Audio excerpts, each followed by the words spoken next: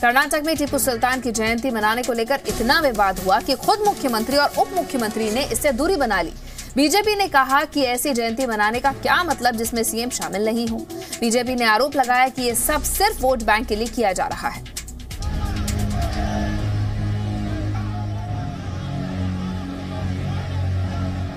कर्नाटक में टीपू सुल्तान की जयंती के खिलाफ बीजेपी कार्यकर्ताओं ने ज़बरदस्त विरोध प्रदर्शन किया। बेंगलुरु मदिकेरी कोडागू और विराजपत जैसे इलाकों में बीजेपी कार्यकर्ता टीपू जयंती के खिलाफ सड़कों पर उतरे। कई जगहों पर बीजेपी कार्यकर्ताओं की पुलिस से झड़प भी हुई जिसके बाद कई बीजेपी नेताओं और कार्यकर्ताओं को विरासत में लिया गया।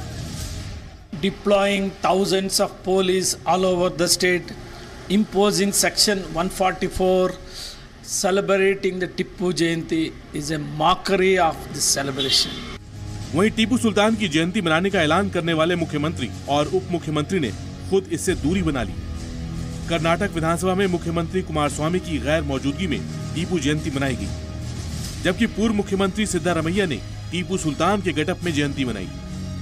Tipu Sultan belongs to one community BJP is seeking to polarise this society polarise the polity on the basis of this one Jayanti that is being celebrated by government of Karnataka कुल मिलाकर मैसूर के शासक टीपू सुल्तान की जयंती समारोह पर सियासी घमासान चरम पर ब्यूरो रिपोर्ट, जी मीडिया।